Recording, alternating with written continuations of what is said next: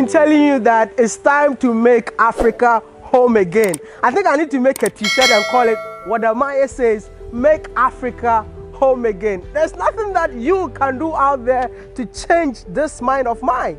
It's time. Both Africans in the diaspora and Africans on the continent to make Africa home again. You know, anytime I want to do videos like this, I get super excited. This is Foster Homes and it's owned by one of the returnees. And this is why I've been telling you, it's time to come back here and do something to change the face of the continent because we all are looking for a better Africa and that better Africa depends on you and I. Come with me, let me go show you the owner, man. This is incredible. Like, oh my goodness. Like, I don't know why I get super excited when I need to do videos like this. Come with me. Hey, is it automatic, bro? Open for me now. Thank you. Make Africa home again. Hey, Africa, why Africa is- home again. I think you said this in baby. room one. Make Africa home again. Africa, Africa Okay, home again, baby. Africa home again. Hey, in my village, we don't have anything like this, but I still have to press. Let me clean my hand. oh. Can you see? Hey, is that a camera? Wow.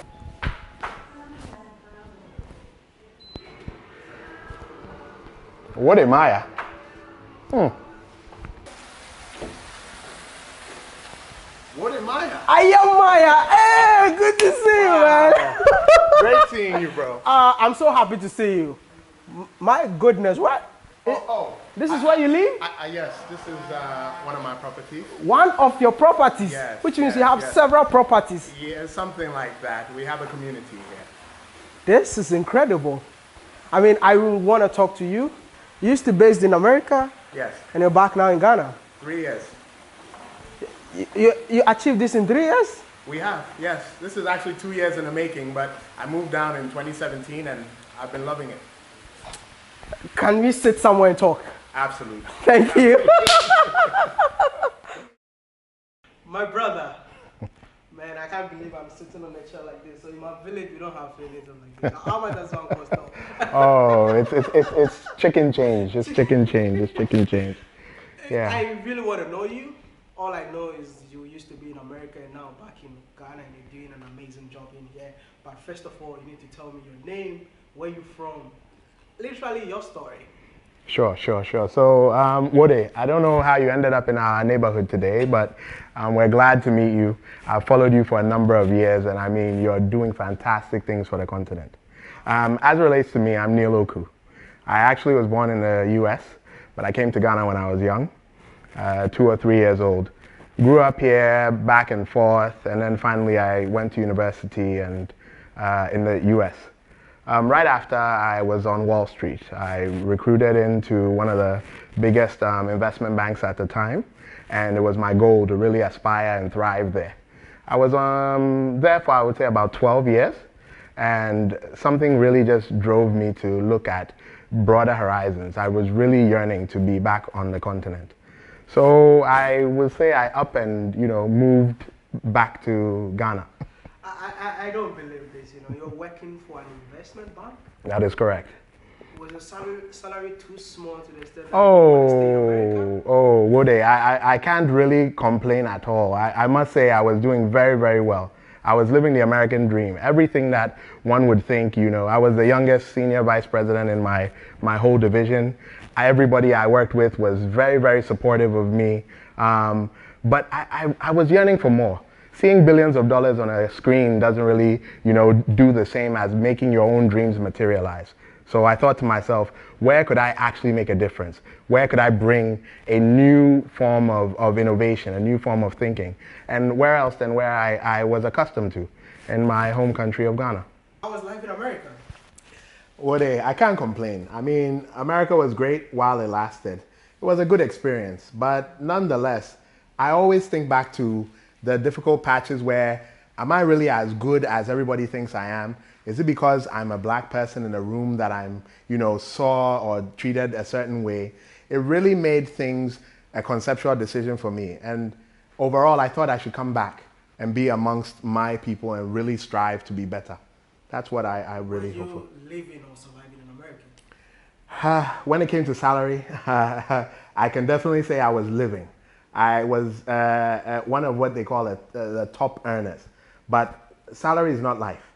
You wake up in the morning, you go to work, you're on a train with hundreds of people, you are done, you get back on the train. At the end of the day, winter, you can't go out. You know, it really was a survival for your social life.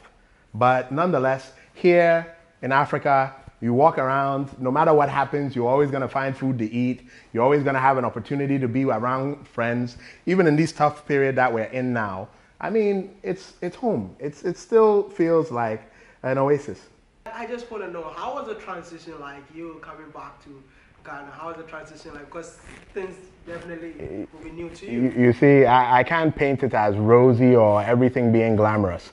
Um, there were definitely some challenges. You have to really get to know the terrain, you know, get acclimated with how the people move and whatnot. But I will never, ever, ever go backward. I don't regret it at all. From my perspective, I did it on my own terms, and the passport only opens doors for you. So, what better than to end up at the door where you want to be? And uh, since I've been here, I've been at home. No matter what struggle, no matter some days are very frustrating, but at the end of it, you know you're achieving things that you would have never done sitting in somebody else's environment. It was all about work, you know, and as an investment banker, we were very, very structured, and I really enjoyed what I, I did. I had a very large team that reported to me, people much older, people from all walks of life. But at a certain point, you have to gauge whether or not everything around you is from your own will or you are working within a machine. So that structure in the corporate world got a little bit, I'll call it disingenuous at some point. And every time I take vacations and come to Ghana, I'd see so many different advancements. I've been to other African countries. I saw so much growth happening. And why not get in at the earlier stage or be able to take advantage of that on my own accord? And that's what really drove me to do what I did. I'm really impressed, but I just want to know what are you really doing in here? Well, um, you know, they always say there's only one real estate. So I decided to do real estate. That was my first in- income um, generating uh, venture. I'm a finance guy through and through. Um, so we looked at a whole different plethora of investments and I decided I would do something that is not done currently. We built a development that is automated homes or smart homes, from what they would call it. And the design and the elements and things that we put into place, most people were thinking, oh, it won't work in Africa. You can't do that in Ghana. I heard it all over the place, but we fought to make sure it came to fruition. And this is where you are today. And um, it's really beautiful. Thank you. Thank you. I don't know what I can afford because I'm looking for something like Oh, Wodemaya, you're a worldwide name. You're a worldwide name. I mean, oh, you just pull out your credit card and just swipe it. that. Look at you. Send us Momo. Momo. yes. I will exceed it. Oh, it'll be well. It'll be well. But um, you know, I have so many people out there who would love to support a brother. So Mm. Sure. I don't know um, this particular house. Yes. Uh, how much does it cost, like range? Oh, it's range. it's uh you know I would say uh, 800 to somewhere around a million. dollars or Ghana cedi? Um, I, I- I can't quote the currency, but we'll leave it we'll leave it there. we'll leave it there. But apart from real estate, or apart from this whole project, do you have any other projects? Yes, so surprisingly, what really bit me as the real estate bug was I decided to build my house when I acquired some land.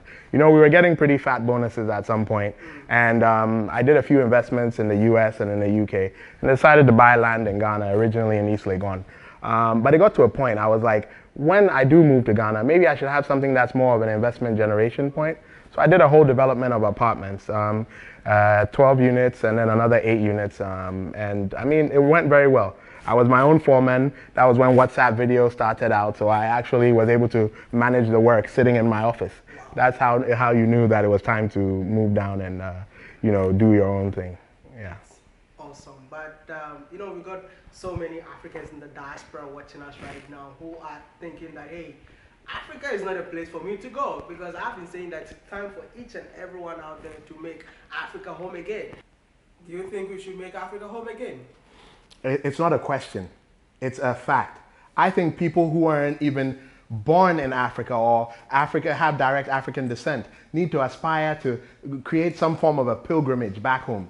Similar to how all of our Jewish brothers and sisters go back to Israel, We need to require our diasporans, African Americans, you know, the, the black British, everybody should spend time, find a way every year, every two years to come back home and feel the patronage of where they are from, where they were taken from. But some of them believe that they are not Africans. I think it, it, they need to go back to the history books. I think they need to go back to their genealogy. Because if they're not Africans and they're from where they are right now, then why are they treated the way they are treated? This is where you need to be. This is where you're going to find a sense of self. And I strongly believe this is the way forward. There's an opportunity in anything you see in Africa. Every day on the street, I see an opportunity. The things that we come home and get frustrated with, why is there a light issue, why is there traffic and all of that, that is for all of our people in the diaspora to now figure out a solution, like how Facebook and Amazon and all these tech companies have done things, to be able to bring that re-innovation and thought process to Africa. And that is your million dollar opportunity right there. That is how we can grow.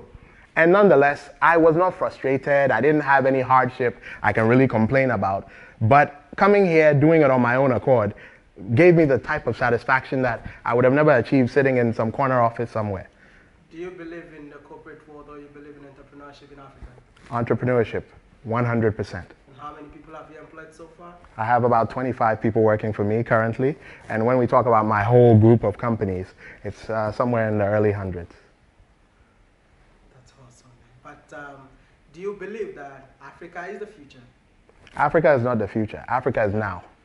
And when you look at the goals that are set aside, we're going to make it despite ourselves.